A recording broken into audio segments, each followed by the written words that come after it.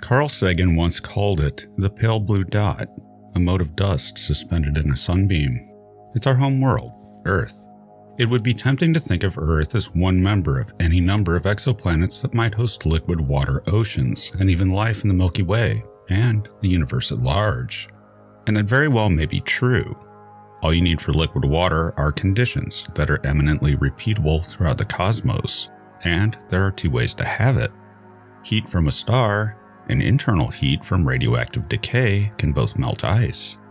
But it also remains true that Earth has some attributes that, on their face, do not seem likely to be all that common in the universe, even given the enormous number of chances for it to happen. And those may also define whether a planet can have life, or how far life can develop. A very big factor here might lie with the moon, and how it came to be that we have one at all. Moons are certainly not rare in the solar system, a majority of the planets have them, though perhaps tellingly, the terrestrial planets tend not to. No moons for Mercury or Venus, and Mars's moons are thought to be captured asteroids. But moons are common otherwise. And while we have yet to confirm an exomoon around an exoplanet, there simply isn't any reason to think we won't find them as instrumentation improves and observation continues. Our solar system is full of moons, Jupiter having nearly a hundred. And even tiny Pluto has its moon, Charon, which looks more like a double minor planet system than anything else. But the Earth moon system might also be characterized as a double planet. Make no mistake, the moon is huge, larger than Pluto, and 27% the size of Earth. It's been floated that the presence of the moon may have been integral to the advent of life on Earth. While that may yet prove true, it's actually not the great filter it was once advanced to be. That idea was based on the notion that life originated in tidal pools on Earth. The waves and tides could provide calm pools of water and depressions in the coastal rock that would presumably allow chemical reactions to occur that wouldn't be likely in the tumult of the open ocean. In this situation, no moon, no strong tides, though there would be still some activity there because of the gravitational effects of the sun. Recent discoveries in the study of abiogenesis, however, have moved away from tidal pools and towards volcanic hot springs and glacis, having been the more likely environment for the chemistry of life to begin. Though, in fairness, there is still the open question of the role of geothermal vents at the bottom of the oceans both options are still on the table, but either would seemingly be able to happen independent of the existence of a moon. What might not happen, however, are some of the other factors. The moon regulates Earth, and in a roundabout way, its formation may be responsible for Earth's axial tilt. That's one area that's not really discussed much, but it very likely had a hand in how life on Earth developed. The tilt actually has to be within certain tolerances, or it works against you. If Earth had too much tilt, the seasonal variations would be much greater, giving a very different landscape to life and evolution. But if you don't have enough tilt, you have no climate variation, which might serve to effectively stagnate evolution through a lack of environmental pressures on it. A world with no tilt may be a world that is forever microbial, but there's also regulation, in that without the presence of the moon's gravity, the tilt wouldn't be stable, and would vary wildly, making for very chaotic conditions for life. We seemingly need the moon, but the circumstances of the formation of the moon do not seem to be likely that they would be all that common.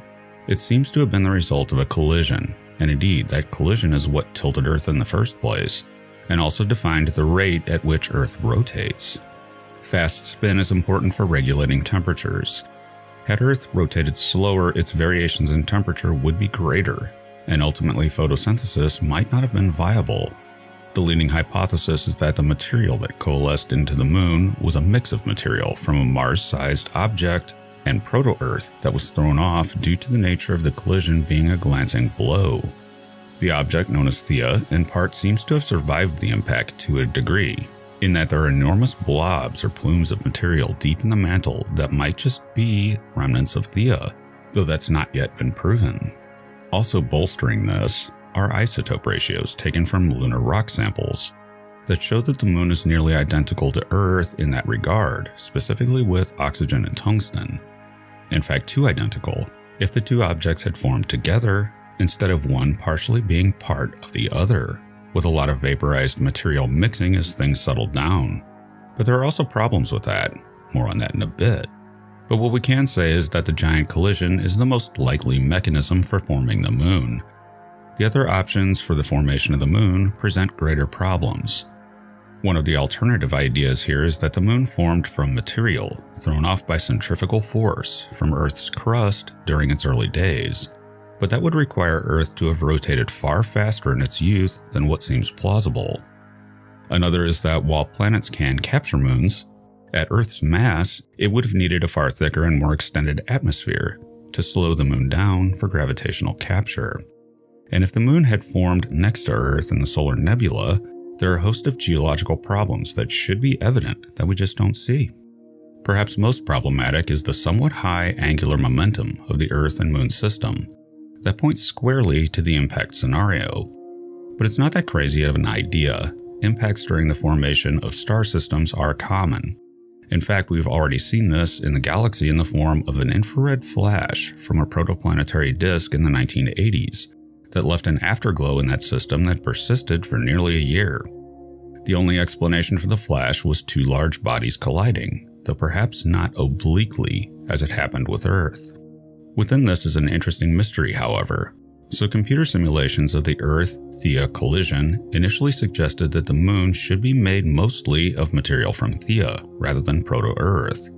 Later models dispute this in that they suggest a larger fraction of the makeup of the moon is from proto Earth.